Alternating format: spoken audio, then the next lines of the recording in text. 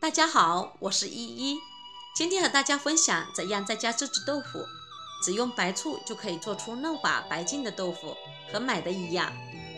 首先准备一斤干黄豆，清洗干净，提前泡发一晚上，像这样就可以了。接下来把黄豆倒入破壁机里，加水打成生的豆浆。和水的比例是一比十，一斤干黄豆十斤水。把打好的豆浆倒入盆里，再把打好的豆浆倒入大的碗袋里过滤，把里面的豆渣过滤出来。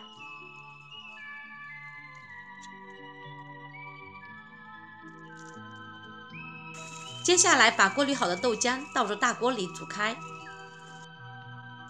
在煮的过程中要不停搅拌，防止糊底。煮的过程中用过滤网把糊沫捞出。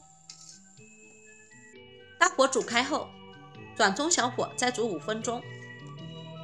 把豆浆煮熟关火，静置两分钟。准备一百克白醋，加入一百克水，比例是一比一。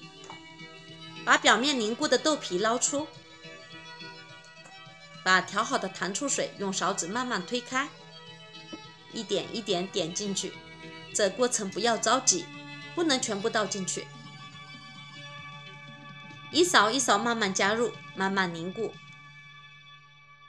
看下豆花出来了，全部点完后盖上盖，静置两分钟。这回豆花凝固的更好了，再开小火，两分钟左右。水和豆花分离，水是水，豆花是豆花，就可以关火了。用勺子把水分取出，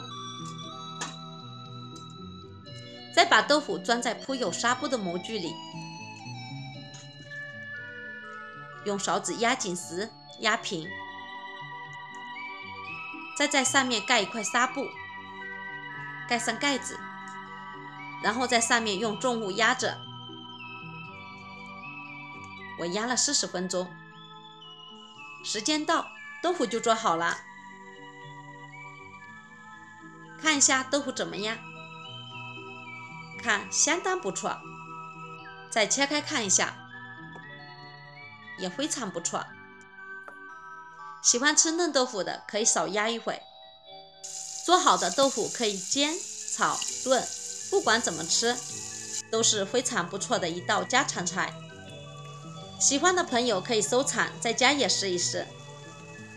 好啦，今天的视频就分享到这里了。